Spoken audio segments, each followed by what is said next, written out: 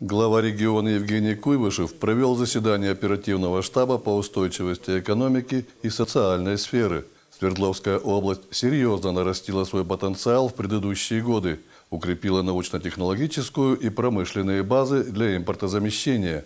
Большая работа проведена по кадровому обеспечению экономики, сказал глава региона Евгений Куйвышев. Все это свидетельствует о том, что наш регион обладает огромным потенциалом и высокой способностью адаптироваться к самым э, непростым экстремальным условиям. Затем губернатор поставил перед правительством региона задачи по развитию импортозамещения. Первое. Предстоит оперативно провести инвентаризацию критических видов комплектующих и сырья импортного происхождения. Это важно для понимания, по каким видам продукции мы должны незамедлительно принять меры, чтобы обеспечить устойчивую работу предприятий.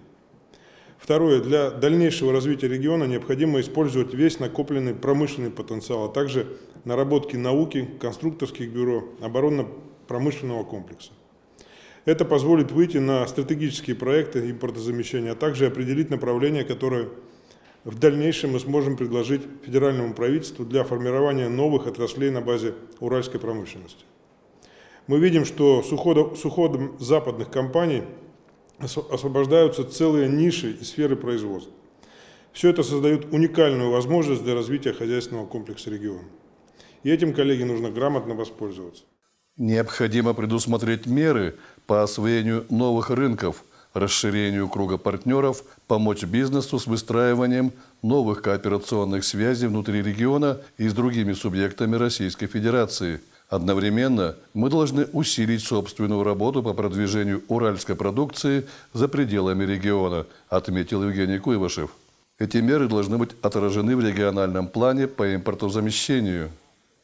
Разрабатываемый документ должен обеспечивать комплексный и системный подход к решению вопросов импортозамещения. Первый вариант плана прошу представить мне на рассмотрение уже к середине апреля. Реализация проектов импортозамещения напрямую влияет на укрепление стабильности на рынке труда. Успешное преодоление проблем занятости, занятости населения – это один из наших приоритетов. Свердловской области из резервного фонда правительства России выделен значительный объем средств для поддержки занятости. Средства будут направлены не только на временное трудоустройство граждан и организацию общественных работ, но и на дополнительное профессиональное обучение сотрудников.